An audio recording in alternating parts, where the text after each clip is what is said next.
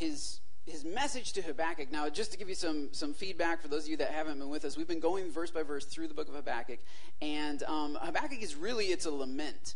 So that means that it's a cry for help, or it's a cry of complaint. Actually, um, this is a part of biblical literature uh, is complaining. Um, God knew who we were and what we needed. So, a part of biblical literature is dedicated to the complaining of people.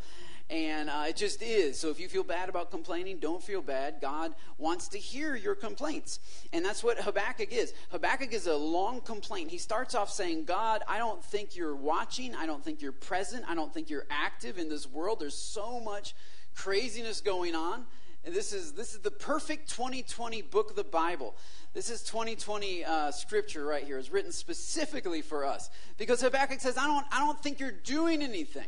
And then God answers him in chapter 1, and he says, No, I am doing something, and this is what I'm doing. Well, when Habakkuk learns what God is up to, Habakkuk strongly disagrees with God's plan.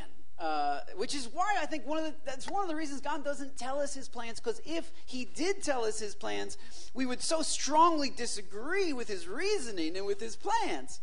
Because his ways are higher than our ways. His thoughts are higher than our ways. But God reveals to Habakkuk what he's doing. And Habakkuk says, Whoa, whoa, whoa, whoa, whoa. This is not okay.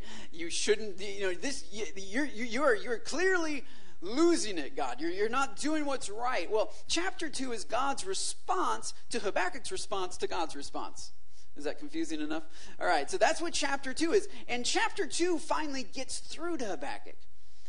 And chapter 2 is one of those chapters in the Bible that is just not very um, encouraging.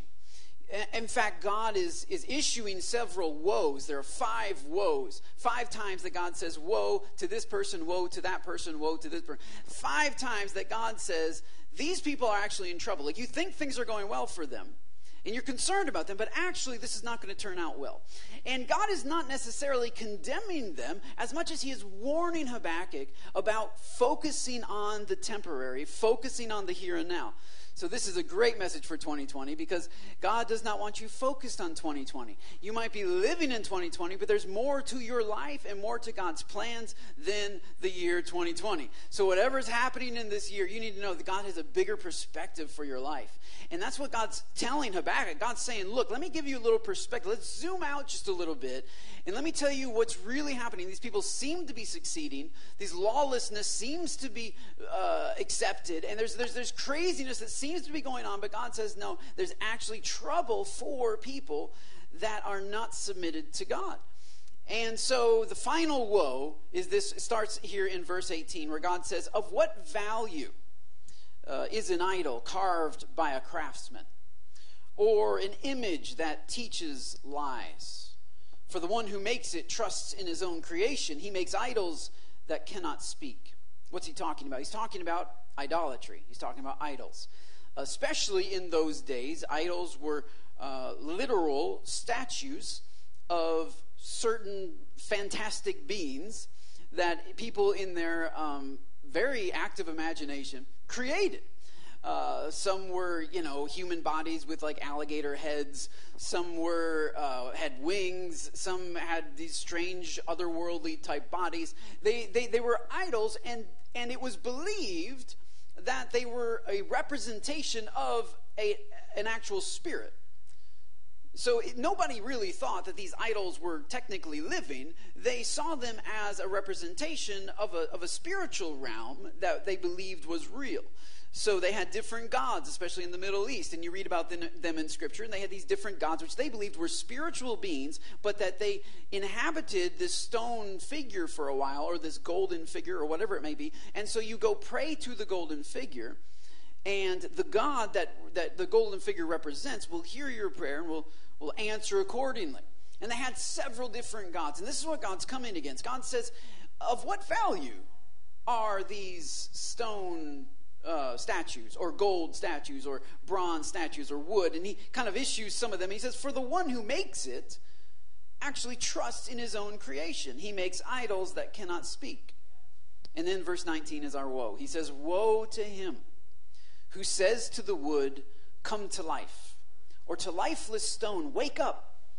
Can it give guidance? That's, that's the NIV. And the New King James, it, it, it actually quotes the person. He says, Woe to him who says to lifeless stone, Wake up, it will teach us. In the, in the NIV, God is asking the question Can it give you guidance? Will it really teach you? It is covered, he says, with gold and silver. There is no breath in it. Verse 20, but the Lord is in his holy temple. This is, this is, a, this is, a, this is a, a distinction. This is a contrast. God is pitting uh, the, the, the, the pagan idols against himself and specifically against his temple. He says, Look, these, these stone things, these, these gold things, these things you have constructed, they can't, uh, they have no breath in them. What value are they? He says, But the Lord, this is, this is, he's talking about himself, is in his holy temple. Let all the earth be silent before him. Um, let's let's go quickly to First Peter. If you have a Bible, you can go there. If not, it'll I believe it'll be on your screen. Uh, First Peter chapter five. Those of you that were with us on Wednesday night prayer, uh, you might know where I'm going with this. I read this. I kind of got fired up during prayer. So um, anyway, uh, First Peter chapter five, verse. Let's start at verse six. He says, "Therefore, humble yourselves under the mighty hand of God." This is in contrast to idols. Humble yourself, therefore, under the mighty hand of God, that he may exalt you in due time, casting all of your care upon him, for he cares for you. Be sober, be vigilant, because your adversary, the devil, walks around like a roaring lion, seeking whom he may devour. Resist him. Not run from him, resist him Usually, if a lion were to come up to me, I would probably start running. But he says, resist him. How do we do that? By standing steadfast in your faith. It's going to take some wild faith to come up against a wild animal of an enemy. He says, resist him by standing. Did you know that the greatest resistance you can have to the devil in your life is not to move forward, even? He didn't say resist him by pressing forward. He didn't say resist him by taking out the sword of the Spirit and slicing him up and dicing him. He says resist him by standing your ground. Sometimes just simply standing in what you know to be true is enough to scare the devil away from your life. The adversary cannot come against a Christian who is standing on his faith.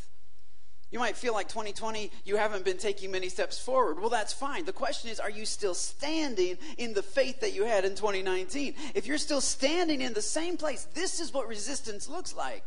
This is what uh, spiritual warfare looks like. It is to stand in your faith.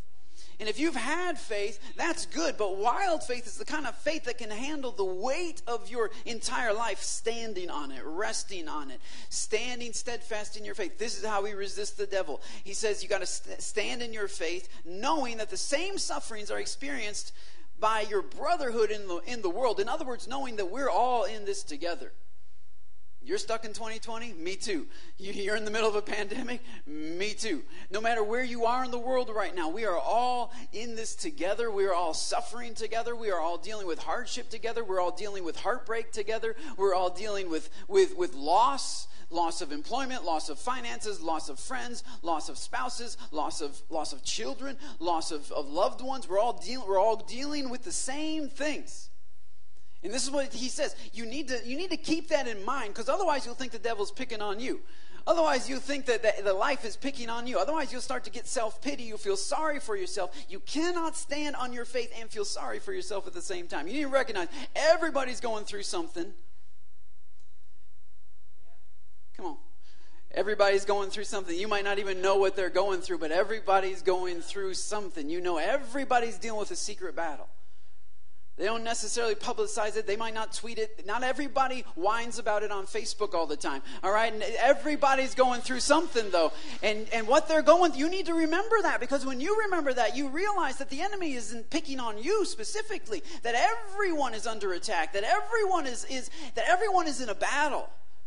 Habakkuk, look, it's not just you, it's not just your city, it's not just your time frame. All people, ever since Adam and Eve, have been under attack, and you need to realize that. And so, when you stand on your faith, recognize that you're not only sta- you're not standing alone, you're locked arm in arm with other believers all around the world that are facing the same enemy, the same hardships. But I like verse I like verse 10 where he finally redirects it to the place where our faith needs to be re- re- redirected. He says, "But may the God of all grace so you're, you're, you're, facing all kinds of battles. Well, there is a God of all grace. May the God of all grace, who called us to his eternal glory by Christ Jesus, after you have suffered a little while, may he do a couple of things. May he perfect you, may he establish you, may he strengthen you, and may he settle you. And to him will be all the glory and dominion forever and ever. Amen. That's what he says. That's, that's what he said. I, I wasn't saying it, but you can go ahead and say it. He said, Amen. And all God's people say, because this is the point. This is the focus of our faith. That He has all glory, He has all dominion, He has all power, He has all grace, and He's called us into His glory. And the beauty of that, the majesty of that, can, when you focus on that, it will overshadow the darkness. It'll overshadow the fight. It'll overshadow the attack. It'll overshadow whatever you're facing.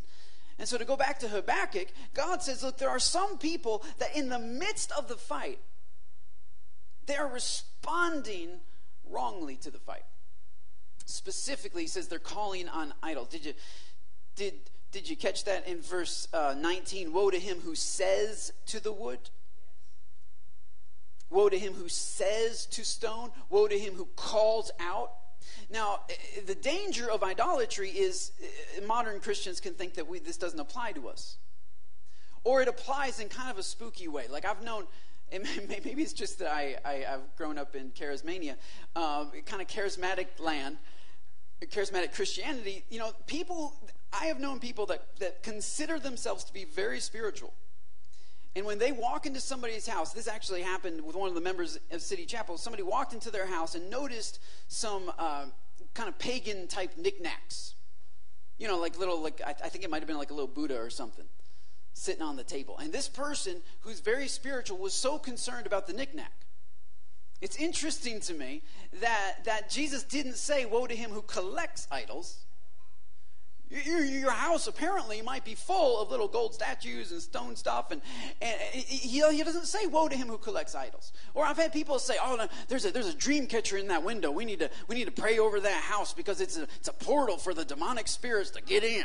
It's a portal. The demonic spirit going to get right in through that dream catcher. They're going to go right in because you know the origins of a dream catcher. You know it comes from like like the like the, the Native American Indians and their paganism, their cult. They believed that it attracted good spirits and kept out bad spirits. So obviously the devil's going to get right in through that dream catcher. They're going to get in. We got, we got, we got, we got to curse and bind it up and block it. And, and, and it's like, well, wait, wait a minute.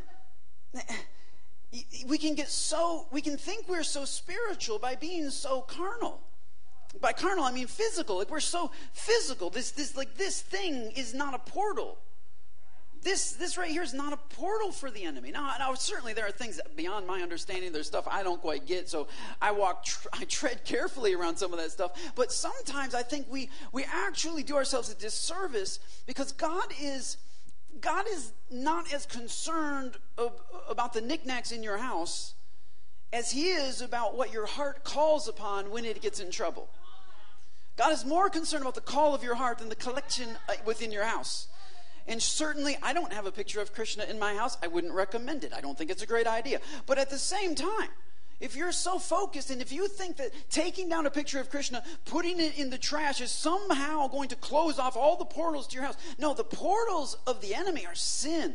The portals of the enemy are compromise. It's lies. It's when you come into agreement with satanic powers. That's when Satan is allowed access into your life. It has nothing to do with your knickknacks or your window art or whatever you, kind of bedspread you might have. Oh, there's triangles on that. That's the Illuminati. No, like it's not like every, it's not, it's it's not like that. This is not how the spirit realm works. You give access by the agreement of your heart and the words of your mouth. I mean, that's salvation, right? Whoever whoever speaks with his mouth, declares with his mouth, and believes in his heart, he shall be saved. Well, if that's how it works on the good side, that's also how it works on the bad side. What your heart calls upon becomes what you worship. Your idol, and so in this sense, let me tell you, idolatry is not dead. We're not, we, we may not be crafting, you know, like little Buddhas and putting them around our houses and bowing down. That, that's not idolatry. Idolatry is what your heart calls to. What does your heart call to and say, awake? What does your heart call to and say, come alive? What does your heart come to and say, it will teach, it will instruct, it will guide, it will affirm, it will deliver, it will illuminate? What does your heart call to? And that's why, like last week's sermon, you know, might have hit some nerves because I touched on the, the fact that many of our hearts are calling to like an elephant or a donkey.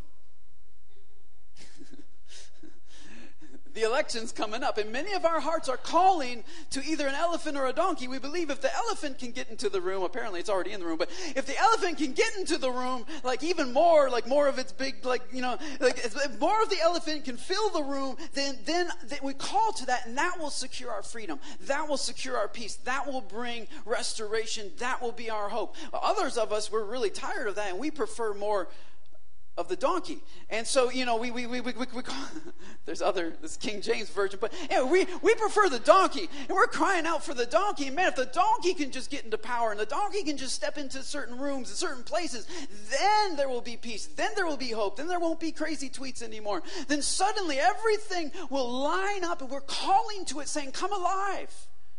Rise up for me, stand up for me, guide me, speak to me, teach me, tell me who I am, tell me what my value is. And so I'm not against voting, like, you know, voting is good, but when the when when your vote, when so much hope hangs on your vote, this is what is wrong. Because your heart is yearning for the donkey or for the elephant. For those of you in New Zealand, I'm talking about like left and right, you know, Republican, Democrat. I'm, like, I'm not actual, this isn't a zoo. America might look like a zoo, guys, but it's really not. I mean, like we sort of like we we sort of know what's going on sometimes, but eh, but no, like we we put our hope in these things. We call on these things. We say, "Rise up." It's interesting. God says, God says about them. He says, "There's no breath in them." A lot of things God could have said. There's no whatever. There's no blood in them. There's no their eyes don't work. Their ears don't work. A lot of things. And Isaiah actually kind of deals with some of that. But but here God just says he picks one thing. Says no breath. The Hebrew word for breath is ruach. It's the same word for spirit. In fact, in Genesis 1 1, it says, In the beginning, God created the heavens and the earth, and the, the ruach of God, or the spirit of God, or the breath of God, hovered over the face of the deep. So this is this is a definition of an idol. Whatever you call upon that does not have the spirit of God in it. That's an idol. And it, and it might be a political platform, it might be a political ideology even. It might be it, might be the teachers, right? You know, like you listen to like Ben Shapiro, and so he's going to tell me, you know, uh, he's going to give me. If I can just listen to him, then I can know what I need to know, and I can think what I need to think. If I can just watch this particular guy, and I can think what I can. If I can just listen to Jordan Peterson, then I can figure out what I need to figure out. And the truth is, like, all there's some good stuff in all of this stuff, but the, but it cannot be what you call upon. It cannot be what your heart yearns for when you're in trouble. If it is, then that's an idol. And I have good news for you. God's been breaking down idols for thousands and thousands of years. If you're in this room today, you're like, I think I might have an idol in my life. Well, hey, you know, most of us probably do. It's so accepted in our culture. It's so promoted in our culture. From the very time that we're kids watching TV, we're constantly being told that this idol, this one's worthy of worship. This one, if you worship this one, then you'll be happy.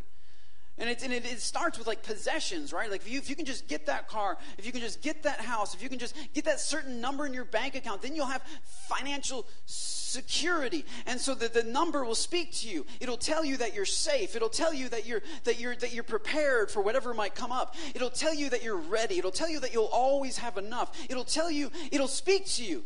But then if the number doesn't get there, it starts telling you all kinds of other things. Oh my goodness, I might not have enough. Oh my goodness, God might not provide. Oh my goodness, I, I might be in, I might be on the edge of disaster because because whatever we call upon is what speaks to us. Our idol is speaking to us. But that's why in verse 18, God says it's lying. He says these are lying idols. One, they offer you things that they don't deliver. They say, look, if, if you get this certain possession, you get this car, you get this house, get that promotion.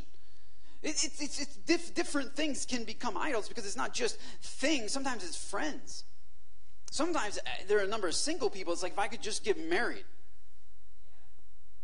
right, then marriage would speak to me.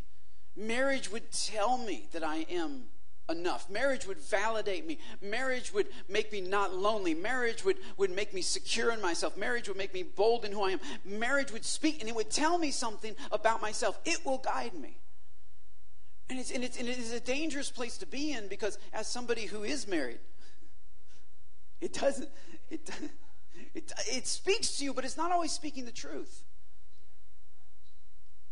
Great marriages will speak to you, but they will not speak the truth because they're telling you something from a certain perspective. They're telling you something from a certain performance. In fact a lot of like marriage counseling honestly it's like me and rose sitting down with with another couple and almost always one of those couples has something that they're calling on to speak to them to guide them. They have an idol and usually both of them have some kind of idol because most of us have some kind of idols. And so as, I, as we sit down with them honestly a lot of times marriage problems come from from literally people worshiping each other and she is looking at him and calling on him. If he can just rise up and be the man of God he's supposed to be, then our kids won't be dirty little pagans. If he can just, you know, my, our kids would, well, our kids would figure it out if he wouldn't just be so darn like, like lost and not caring. And if he would, and they're calling on him and they're bowing down to him. They wouldn't say that. Sometimes she doesn't even like him, but she's worshiping what she doesn't even like because she's calling on it. She believes that it will speak, it will guide, it will declare,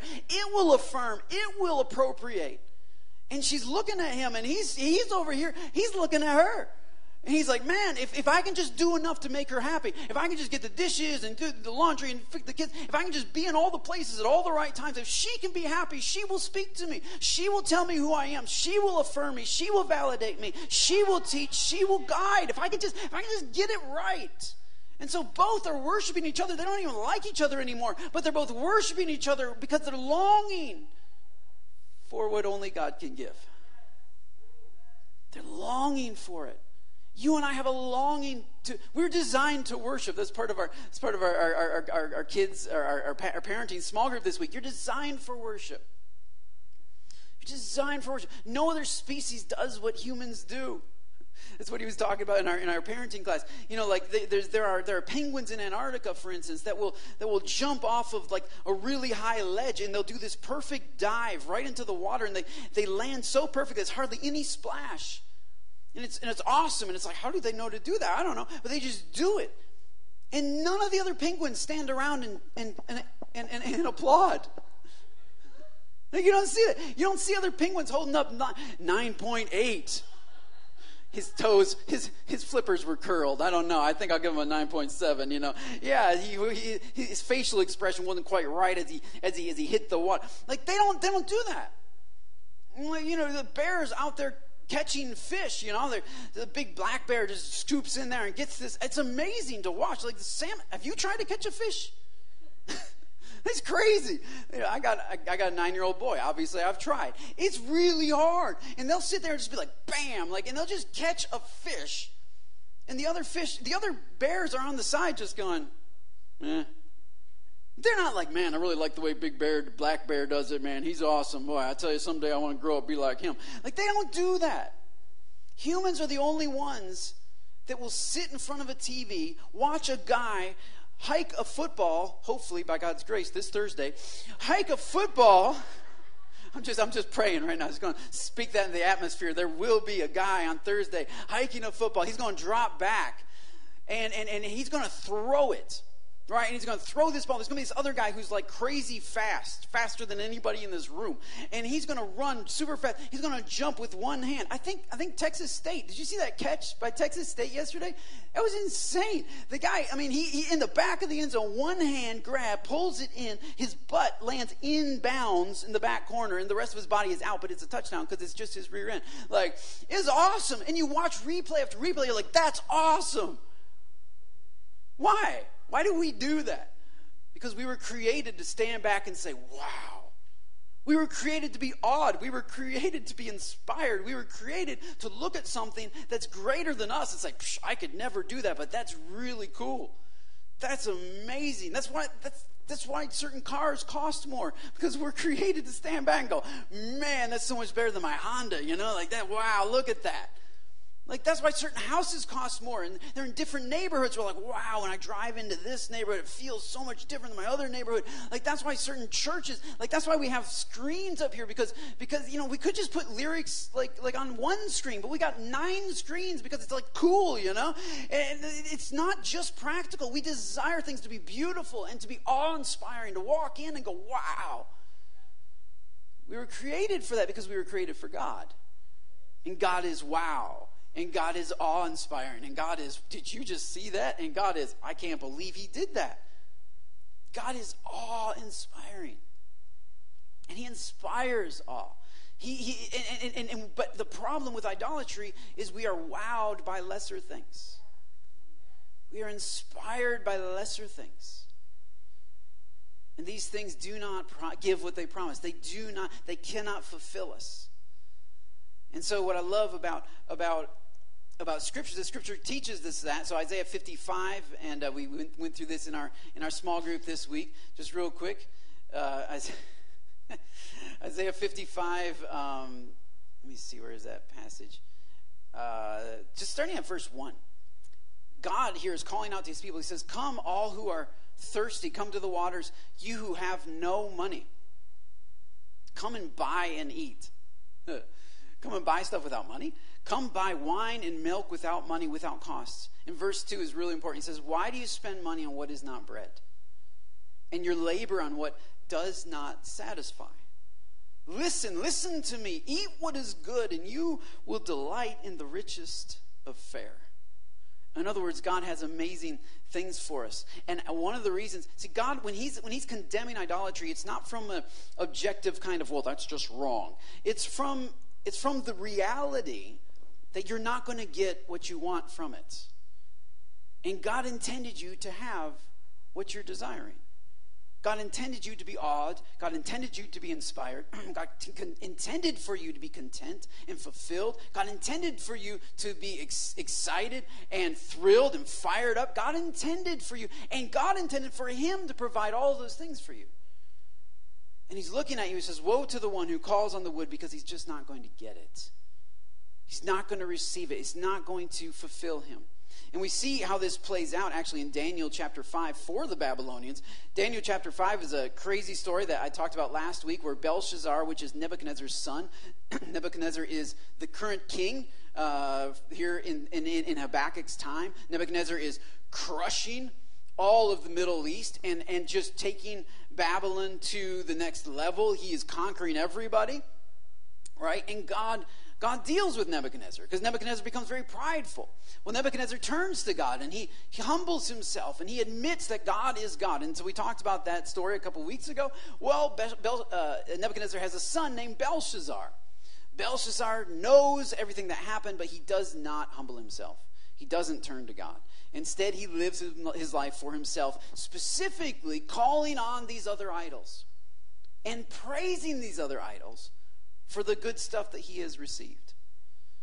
And God is quiet, God's silent, God's listening, God's watching, right? And then in Daniel chapter 5, finally, uh, Belshazzar just pushes the limit too far. He goes too far. He has this massive party with a thousand of his nobles and his wives and his concubines, and he orders for the, uh, the, the utensils, the, the cups and the saucers and the plates from the temple in Israel from, the, from, from God's temple to be taken to him for them to use uh, in their party. And so they wait and wait and wait. And finally, everybody comes together. They get all the gold stuff, all the silver stuff, and they, they're, they're drinking wine from it and they're celebrating using the holy articles from the temple. And then it says that he begins to praise the gods of silver and gold. And suddenly, this hand comes down from heaven, this giant hand, dis- disattached from a body, it spooks him, it freaks him out, and starts carving into the wall next to him these words. And there are these words. We talked about the words last week. Well, somebody uh, somebody says, "Why don't we call in Daniel? He's an Israelite. Maybe he can interpret this." And so they call in Daniel, and Daniel interprets it. But before he does, he gives them a little sermon. So last week I gave you the interpretation, but today I, I just want to give you part of the sermon. He says, he says, "But you, Belshazzar, his son, Nebuchadnezzar's son, you have not humbled yourself. You have not humbled yourself, though you knew all of this." Instead, you have set yourself up against the Lord of heaven.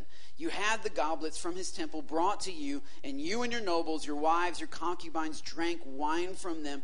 You praised the gods made of silver and gold, of bronze, iron, wood, and stone, which cannot see, hear, or understand.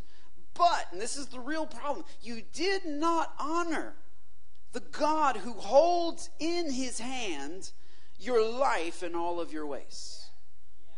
Therefore, he sent the hand. Did you catch that? This, this is what stuck out to me Wednesday night. I was reading that, and I said, wait a minute. You did not honor the God who holds in his hand your life and all of your ways. Therefore, he sent the hand to write the inscription. So that tells me that all of us are responding to the hand of God in some way. There is a hand that has been holding you all of your life. There is a hand that has been protecting you all of your life. There's a hand that's got you to where you are. There's a hand that has conceived you in his mind and carried you to this place. And we are all responding to that hand in some way. Some of us are reaching out for that hand and holding that hand, and some of us are rejecting that hand and desiring to be removed from that hand. And Belshazzar rejected the hand, but either way, you do not escape the hand of God. And so the hand came down to Belshazzar not to hold him, but to judge him. And so my, my encouragement for you today is that, is that there is a hand that's been holding you, and I would, I would encourage you to reach out for that hand, to hold the hand that's been holding you. Real faith is when we hold on to the hand that has actually been holding us all of our life. Real faith is to recognize that there has been a hand. If you're here today and if you're in your right mind, that's because there's been a hand carrying you to this place. If you're here today and you're alive, that's because there's been a hand that has kept you alive. If you're here today and your faculties, your legs, and your arms work, it, that is because if you're here today and you have the internet, that's because there's been a hand that has been moving in your life and sheltering you, even if you didn't recognize it. Belshazzar was not a Christian, yet he was in the hand of God. God got the whole world in his hands. He's got the whole wide world in his hands because you don't have to be righteous to be in his hand. You don't have to be holy to be in his hand. The, the, your righteousness or your holiness is based on how you respond to the hand that has been carrying you. And God says, Look, I've been waiting, Belshazzar, for you to reach out for my hand, for you to put your faith in my hand, for you to honor me and honor the hand that's been holding you. But because you will not honor my hand, my hand is coming down to judge you. So the hand that holds you is also the hand that ends up pointing at you. The judge is also the primary witness on the stand. And so wherever you are today, this is this is my prayer Wednesday night. I just want to reach out and I want to hold on to the hand that's been holding me. I want to put faith in the one who has been believing in my potential all my life. I want to believe in him. I want to reach out for him because he's been holding me. I want to hold on to the one who's been holding on to me. And you can, you can do that right now. Belshazzar had an opportunity to do that. And that's, the implication of the next verses. You've been weighed. You've been measured. I've been waiting. I've been watching for you to reach out for this hand. I've been waiting and watching for you to put faith in this hand. So at any given moment, you are in the hand of God. If you're wondering how far away you are from the hand of God, well, how far away? You're right in the palm of his hand. And it doesn't take it doesn't take a million miles to get into his hand. You are in the palm of his hand. You merely have to reach out for that hand. You have to connect with that hand. Put faith in the hand. Hold on to the hand that's been holding on to you. And that's what that's what Peter is telling us in Peter uh, 1 Peter chapter 5. He says, "Humble yourself therefore under the mighty hand of God." Under the mighty hand of God. Humble yourselves under the mighty hand of God. There, there, there is a hand that you can come under this morning. There, no matter where you feel like you are, you might feel like you're a million miles away from God. You can come under, right now, you can humble yourself under the mighty hand of God.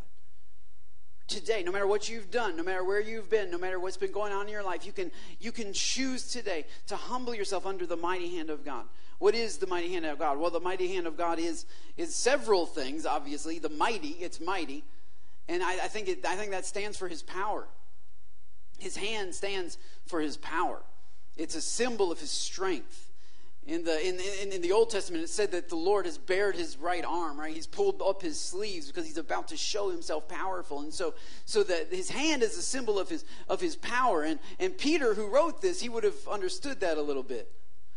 Right? Peter would have Peter would have known about the power of God because Peter was in the boat when Jesus was asleep at the back of the boat, and the winds picked up, and a mighty storm came through, and they felt like they were drowning. These, these trained fishermen and men of the sea believed themselves to be in mortal danger, so they went and woke up Jesus, and Jesus stood up, and he held his hand out, and he spoke, he rebuked the wind.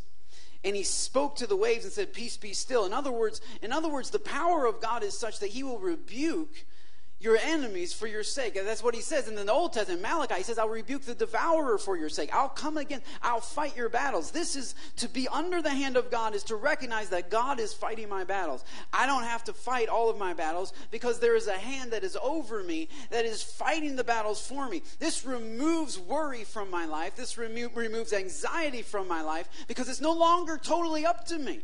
My job is to stay under the hand. The hand's job is to deal with every enemy that comes up against me, is to rise up in judgment against every tongue that, that, that, that comes against me, that, that, that accuses me. And this is why I believe God says, but the Lord is in his holy temple. He tells Habakkuk, look, I understand that the Babylonians are at the gate, but God is in the temple. Remember, Habakkuk is in Judah. That's where, in Jerusalem, that's where the temple was. And so God says, Look, I understand what's out in front of you. I understand what you're facing. But right in the middle of your town is a temple, and God is there. In the Old Testament, see, nowadays we think of God in the temple, we think of that as, as, as a bit of a restriction because we're so used to the Holy Spirit that He's with us all the time. But in those days, when God was in the temple, that meant the doctor was in the office. When God was in the temple, that meant God was near. When God was in the temple, that meant you had access. It wasn't the same kind of access we have today, but it was more access than anyone in all of human history had ever had before. God is in his temple. There is a place that you can turn and look, and you can see the, the glory cloud hovering over this temple, and you know that the presence of God is there. And you know that that's where forgiveness is. You can go sacrifice animals. You can worship there and receive forgiveness. You know that that's where healing happens. You know that that's where uh, peace comes from with God and with other people. Reconciliation happens right there. And so Habakkuk is looking at the gate, and here comes the Babylonians, and God says, Look, I understand what's at the gate, but if you knew the power that was behind you, you wouldn't fear the enemy that's in front of you, because behind you, the Lord is still in his temple. He hasn't gone anywhere, he's still available to you. And this is the power of God. There's a hand of God over your life that if you will come under his hand, that if you will come under his power, you will, you will see what he can do. You will see his, his provision for you. He has great power of, for, for provision. Through all of my life, that saw all my life, He's been faithful. I'm thankful for His provision over my life. And I'm not saying that He has always given me everything I wanted. but I am saying that He's always, that my God have all, has always supplied my needs according to His riches and glory. I could share so many crazy stories about His provision when I'm under His hand when I'm submitted under his hand, when I'm not chasing my ego and things that would make me feel better, when I come under his hand, there is so much provision there. Right? Like we started City Chapel five and a half years ago, and you know, we had to raise a lot of money because it takes a lot of money to start a church, and so we cashed in our 401k, like we got rid of everything, and you know, we just we just went all in. And if you're starting a church and you're watching this, Jeremy, you got to like you got to go all in and you don't know if it's going to work and you don't know what you're going to be doing for a job if it doesn't work and you just go all in. And so we went all in and we're all in and we're living in san marcos but like out toward wimberley like like you know 45 minutes from here. And i'm driving up every day to meet people for coffee and to counsel and to share with people and to pray with people and blah blah blah all the stuff that you do. And then every sunday we're driving up to go to the cinemark theater uh, and i got the big trailer behind me and it's a long trip. And so we began praying that god would open up a door for us to get a house closer Now, we've always flipped homes, so we've always bought like trash, junk homes, and fixed them up and then sold them. That's how we've been able to live as people and pastors under the same salary. So we had a house that we were like, man, we're going to make some money on this house. And we were hoping to make, I think it was around $40,000. It's going to be one of our biggest houses ever. It was going to be awesome. It was going to be epic. And uh, it's five acres out toward Wimberley. And but you know, making forty thousand dollars is a lot of money, and that makes for a pretty good down payment. So we began looking for a house that we could get. Now the problem is our salary at the church was twelve hundred a month, so it's pretty pitiful. So banks wouldn't really give us a loan at $1,200 a month. I don't know if you've tried that, but um, they kind of look at you and go, ah, I don't think I don't think you can afford this. So we, you know, it, we were just we were just looking and looking and looking, and so finally we find these 14 acres where we're currently living, the house that we've had, and uh, six months after starting the church, we find these 14 acres, and uh, he's asking a reasonable price, but everything's so darn expensive around here. And we tell him, well, we really can't pay that. And he's like, well, how much could you pay? Well, we could pay like a hundred thousand less than what you're asking. And he's going to owner finance. And this is how much you know we make every month. It's you know not a whole lot. And he's like well okay. And so he had full cash offers for what he was asking but they were all investors. They were going to chop up the land and sell it and we were going to keep it as a horse farm because my wife loves horses and and so he really liked that idea. So he said look i really like what you guys are going to do with the place. So okay i'll sell it to you for 100000 less but and we're like, what? And he's like, but we we have to close within 30 days, and you need to have $100,000 down on the day of closing. And we had $1,000 in the bank on a good day. It was somewhere between like 100 and a $1,000 based on how we were doing that month, you know. And so we looked at this Saturday night. We looked at each other. We're like, where are we going to get 100? We don't have $100,000. We said, well, we, we have to sell our property for a little bit more than we thought. You know, we're going to have to raise the price and just see what happens. And so Sunday morning, we tell people in the church, would you guys pray for us because we're going to try to sell our house for kind of a crazy price and, and uh, just see what happens. And, um, and so Monday morning, I'm at Starbucks going on the MLS because we didn't have internet. Because when you're making 1200 a month, you don't have internet at your house. So you use Starbucks internet. So I'm getting us on the MLS, and uh, one of our friends, one of the members of the church, they knew somebody who had visited one time, blah, blah, blah. They came through, they loved it. They met with Roe, and, and so Roe was like the realtor. Roe played realtor, and they said, "Look, we love it. Like, how much? How much are you asking?" And so she's like, "Well, we have to have this amount of money." And uh, they're like, "Well, okay, well that sounds good." And like, "Well, we have to close within 28 days." They're like, "Okay, that sounds good." And we're like, "Well, could we close at the same closing place where we're going to be closing at this other?" Yeah, sure. So 28 days later. We walk into this place in San Marcos, we close, we get a $100,000 check, we walk across the hall to this other room, we give them the $100,000 check, and we close on our property. It's absolutely bizarre. This property, which by the way was ag exempt, which means there's no, like, there, well, there's a few taxes, but not much at all. Our, our mortgage went down 500 a month. We got a house that was worth a lot more and, and a mortgage that went down significantly. And which was great because right about that time promised land stopped giving me an extra $500 a month so that was good you know and it's just like god has always provided for us God has always met our needs. God has always come through. His provision is perfect. His timing is perfect. His ways are perfect. And when you come under the mighty, the mighty hand of God, it is really mighty. It's powerful. It's provisional, if that's a word. It, it, it, it, it starts with a P, so that's got to work. And, and, it's, and it's also, like, it's, it's, it's also, there's great protection under his hand. There's great protection. Like you, you're, you're, you're not responsible for deciding what comes into your life and what doesn't. Because when you're under the hand of God, it says, under the shadow of his wings, I will find rest, I'll find peace, I'll find protection. I'll come under the shadow, I'll come under his hand. When I'm under his hand, anything that comes into my life, has already been okayed by him. So, any circumstance, any issue that comes up in my life, I know that He's already passed through Him. So, He must have a plan for it. He must have a, something He wants to do with it. And there's so much security in that.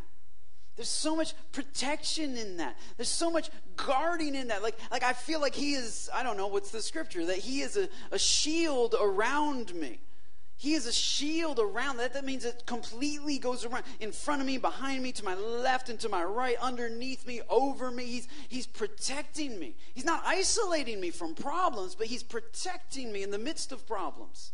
He's, he's with me in the middle of the storm. Sometimes I, I go through deep waters, but He doesn't leave me. Sometimes, sometimes I'm in tough situations, but I know even though I walk through the valley of the shadow of death, I will fear no evil because you are with me. His hand is over me, and it's a, it's a mighty hand. And so I'm not living under my circumstances. I'm living in my circumstances, but under the mighty hand of God. Circumstances are not over me, His hand is over me. And out of His hand comes everything that the idols promise but don't deliver. Out of His hand comes joy. Out of his hand comes pleasure. Out of his hand comes fulfillment. Out of his hand comes, comes identity. Out of his hand comes a realization of who I am and what I'm made for. Out of his hands comes a future and a hope. Out of his hand, see, I don't have to worry about tomorrow because he's already stepped into to tomorrow. So the same hand that holds my future is also holding me. And it's the same hand, which means he's guarding me and protecting me and leading me. Because in his hand is provision, in his hand is power, in his hand is protection, and in his hand is a purpose for me, a plan for me. He, he knows what tomorrow holds. He's already stepped into my future and made a way. He's already gone before me, and he steps into my tomorrow. And Peter knew a little bit about that too. He knew a little bit about the power of God, the power of the hand of God because one because one day they were they were sitting around and they were everybody was hungry. And nobody had brought anything to eat. And one of the disciples i don't know probably peter went up to jesus and said why don't you send these, this crowd away? There's 5000 men plus women and children. Why don't you send them away so they can go find something to eat? And jesus looks at him and says how about you give them something to eat? And suddenly this disciple whoever he was and really all the disciples found themselves in a severe shortage a severe lack. They needed something, but they literally did not have within themselves enough to meet the need that was in front of them. And then they found some kid with a lunch, a few fishes, a few loaves, and in that kid's hand, that didn't do anything. In Peter's hand, that didn't do anything. It wasn't even enough to feed him. But when they put it in the mighty hands of God, the mighty hand of God blessed it, broke it and distributed it. And this is what will happen when you come into the mighty hands of God. He'll bless you, He'll probably break you of your pride, and then He will distribute you to be a blessing to those around you. He will bless you, He will break you, and He will distribute you. This is how God works. He blesses, He breaks, and He distributes. And all of it is for His glory so that people stand back and say, Look at the mighty hand of God. Look what God did. In my hands, this didn't do anything, but in God's hands, it was was blessed, it was broken, and it was distributed, and it fed all. I mean, it says everybody was full, and there was 12 bushels left over, one for each disciple to take home. God says, Look, you guys are in my hands. And I have provided for your present, and I have prepared for your future. But Peter was also there when Peter thought he knew the plan. Peter was also there when, when Jesus said, One of you will deny me, one of you will betray me. And Peter was like the first one to be like, That's not me. I'll never deny you, Lord. See, you can, you can be under the hand of God and not always respond right. You can be under the hand of God and not cross all of your T's and dot all of your I's. Peter was under the hand of God. He was being blessed and he was being broken now. Because before he could be distributed, he needed to be broken. And he had this pride thing inside of him. He hadn't humbled himself under the mighty hand of God. He had come under the mighty hand of God, but he had never humbled himself. And so he still was so sure of himself. He still was so confident in himself. And Jesus looked at him, not in a condemning way, I don't believe, but he said, Look, before the rooster crows three times, in other words, before the sun comes up, you are going to deny me three times. And again, Peter said, You are wrong. this is the arrogance of pride that even when God Himself tells you who you are, you don't believe it. Even when God Himself pulls back the layers of your heart and looks at the inside, you, you still can't believe it. And so Jesus knows He can't believe it. And Jesus says, okay, but when you return, strengthen your brothers. What? When you return broken, then you will start to distribute strength to your brothers. When you return strengthen your brother. In other words, the plan of God isn't just uh, up and to the to right. It's not just up and to the right. It's not just from glory to glory in terms of levels. Sometimes glory to glory doesn't look as glorious as you thought it would. And I'm not saying that God planned for Peter to fall. I'm saying that pl- God planned uh, around Peter falling. It's not that God desired Peter to deny him. It's not that God had dictated, well, I really need people to, to mess up so that I can get glory. No, uh, where sin abounds, grace does a much more abound. Should we should we continue in sin so that grace abounds? Absolutely not. But the truth is that God hasn't planned. God hasn't planned you to sin. God has planned for your sin. God hasn't planned you to deny Him, but He planned for your denial of Him. And that's what Jesus is telling Peter. P- Jesus is telling Peter, look, look, look, look, you're under my hand, which means you're under my plan. And my plan is not always for you to go up and to the right because I know you, Peter. I know what's in your heart, and your heart is not ready for up and to the right. There's some things in your heart which you're, you're flying high right now, right? It's 2019, and you think 2020 is going to be the best year ever. Like, I get you, I got you, but when you come back in November, come on, come on, somebody. somebody yeah, literally, physically, when you come back to church in November after the pandemic's over, then I'm just putting that out there. I'm some by faith. then, like when you come back, I'm coming back isn't to a building. Coming back is to the place in your spirit that you were in January. Coming back when you come back, when you get back to that faith. Because here's the deal: 2020 has rattled some people. Like you thought you were here. And Jesus might have even, God might have even shared some things with you before this. And you were like, no, that's not me. That's just circumstances. That's just that. That's what, and, and, and, and then 2020 kind of knocked you down a step. Your attitude took a, took a dive. And your faithfulness took a dive.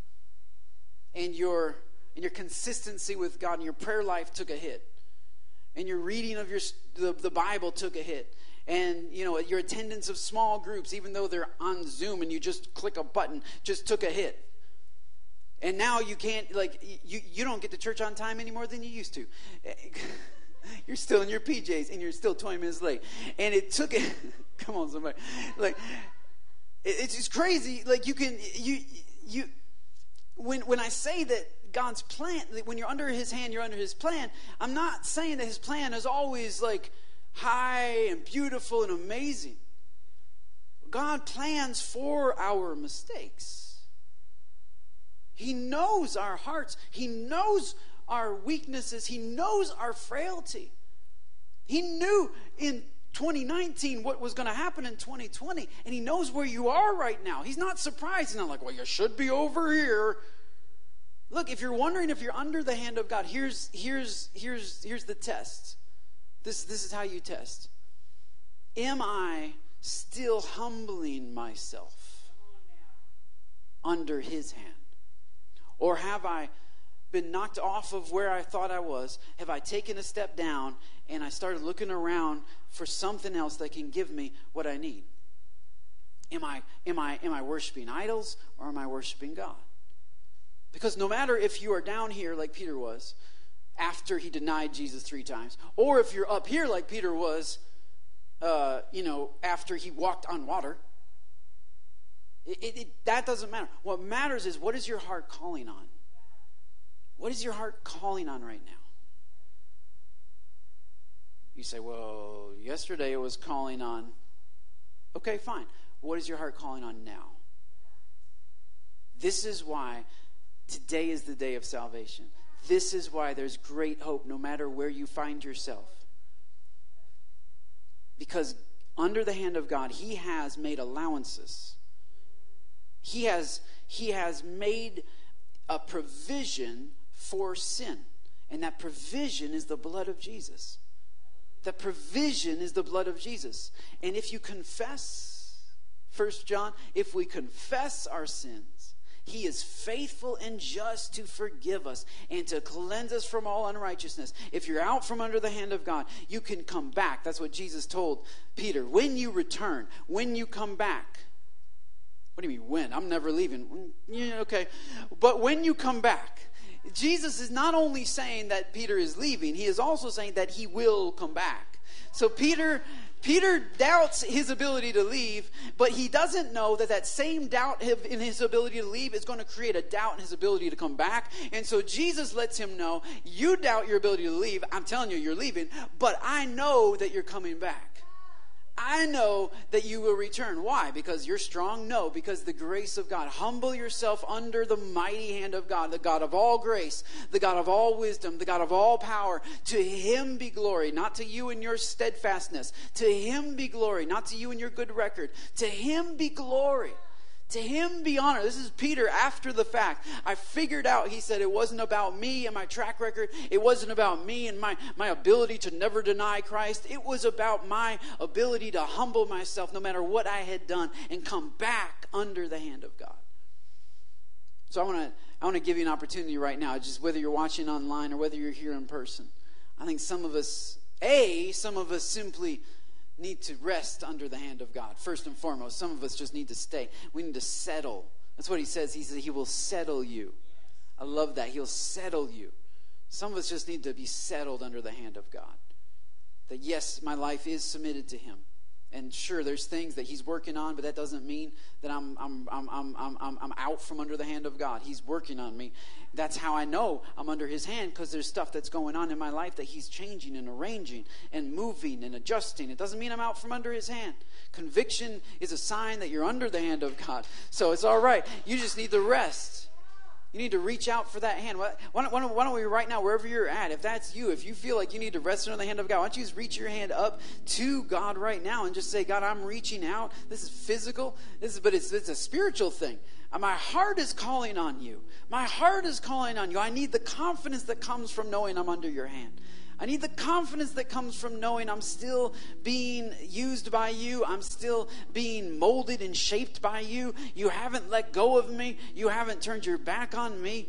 And even, and even those who have fallen, and even those who have escaped, Here's a call to you. If you, if, you. if you have come out from under the hand of God, are you ready to humble yourself again? Are you ready to return to, uh, to come under the hand of God? If you are, just raise your hand right now and say, That's me. I've been, I've been out from under the hand of God, but I'm coming back under the hand of God. So no matter where we are, whether we've stayed in the hand of God or we've, we've, we've, we've drifted, Father, we come under, we humble ourselves under the mighty hand of God. And this is what he says. He says, Cast all of your cares on him. The word care literally means distractions. In the Greek, the word means cast all your distractions on him. Take all your idols Take all your false ideologies, take all of the things that distract you and pull you away, and throw them on Jesus. Take all of these things, bundle them all up, and place them on Jesus so that He is my focus. He is my God. It is His hand. I'm looking to the hand of God over my life. I'm casting all my distractions on Him, for He cares for me. Breaking down all of my idols and laying them at the foot of the cross.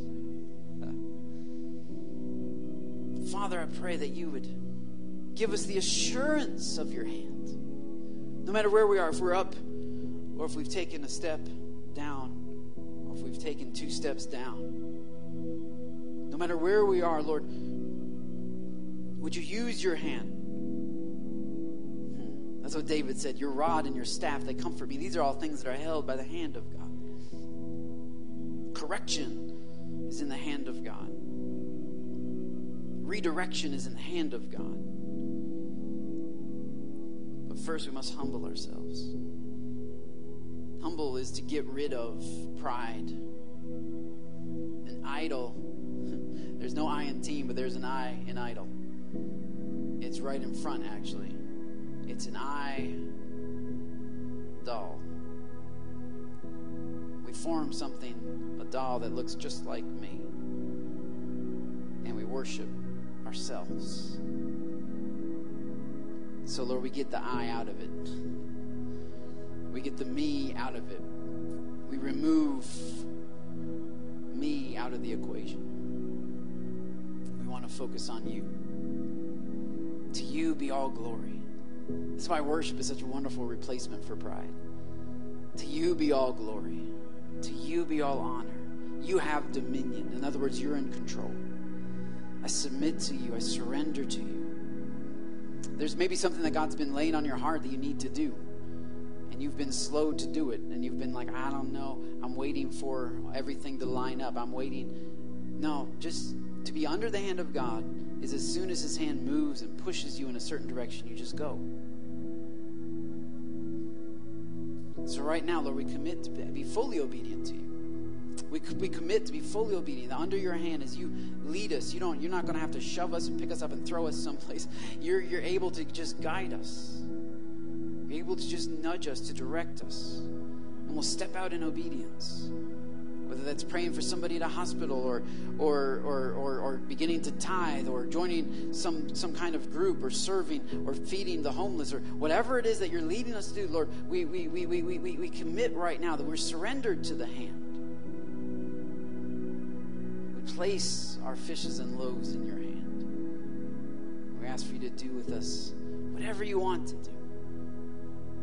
We give you all the glory and all the honor. In Jesus' name we pray. Amen. Amen. Amen. Yeah.